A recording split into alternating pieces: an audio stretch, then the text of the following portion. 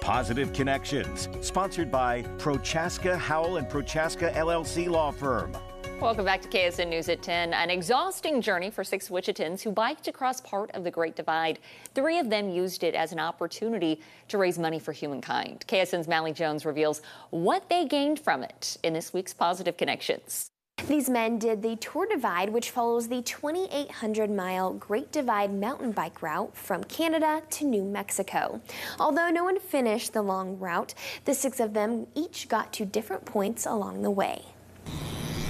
Rides around Wichita deliver realizations for Tyler, Marty, and Cassidy. Noticing that there was a pretty significant presence of people experiencing homelessness in Wichita. It sparked an idea for their ride on the Continental Divide. We decided this is something we're doing already.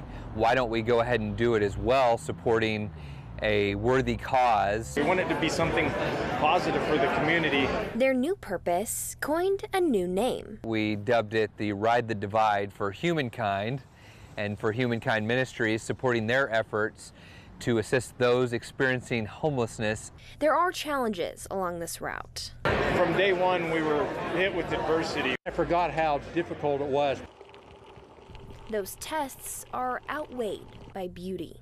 This continent and this country is exceedingly beautiful, and we don't even know it for the most part. Miles spent alone. A lot of time to think, and I think it's good for the mind. Are met with community. The people you meet along the way are, are, are just so, you know, lifelong friends, even just by spending a few days with them. They learned lessons. We take a lot of things for granted. That parallel with their mission for the homeless. Housing being one, convenience of food and drink and, and shelter and all of that.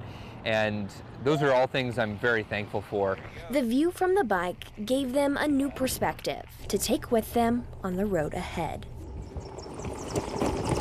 They raised over $40,000 for humankind, and they all say they can see themselves going back in the future. Here for you, Malley Jones, KSN News 3.